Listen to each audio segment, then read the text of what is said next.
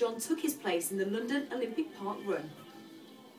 But less than two weeks later, things took a turn for the worst. I'm here at the osteopath to get a final decision on whether I should run the marathon. I'm still having problems with my back.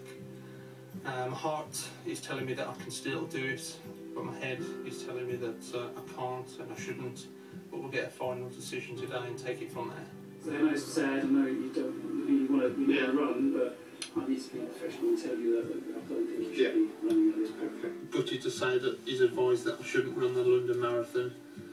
So a lot of hard work and, and training sort of uh, down the drain, if you like. Um, I'm not wasn't running for myself, so you know it's, I feel that I've let a lot of people down. So um, hard day, tough day.